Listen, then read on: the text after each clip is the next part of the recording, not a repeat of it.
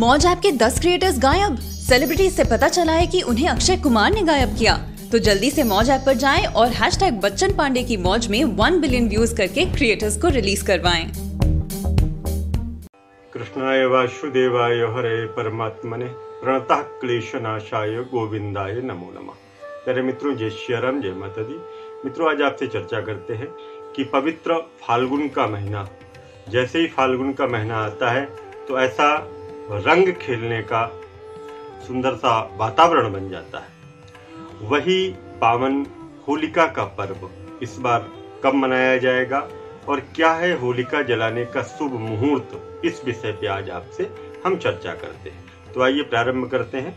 हिंदू पंचांग के अनुसार फाल्गुन महीने की शुक्ल पक्ष की पूर्णिमा तिथि को होलिका दहन किया जाता है। ऐसे में इस साल जो होलिका दहन का शुभ मुहूर्त है वो 17 मार्च को बनेगा और इसके अगले दिन, अर्थात 18 मार्च को, रंग की होली जो होती है, धुलेड़ी जिसको बोलते हैं 18 मार्च को रंग खेला जाएगा।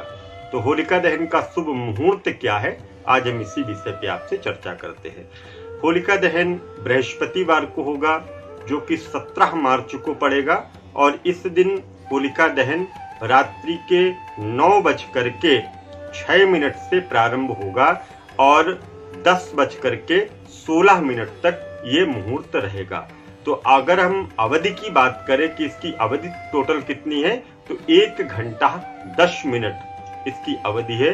इसके बीच में ही हम सभी को होलिका का जो पावन पर्व है, इसको मनाना है। और बृहस्पतिवार का दिन होगा तो इस दिन होलिका जलेगी, होलिका को जलाना है और होलिका का पावन पर्व हम 18 मार्च को जो शुक्रवार का दिन पड़ेगा, उस दिन होलिका को हम रंग इत्यादि खेलेंगे, अबीर लगाएँगे, चंदन लगाएँगे, जो जैसे खेलते हैं उस क्रम में हम होली को खेलेंगे। तो हमने आपको बताया कि 17 मार्च को जो होलिका का पावन पर्व है ये पावन पर्व मनाया जाएगा, अर्थात 17 मार्च को होलिका दहन किया जाएगा, और उस समय भी हमने आपको बताया है।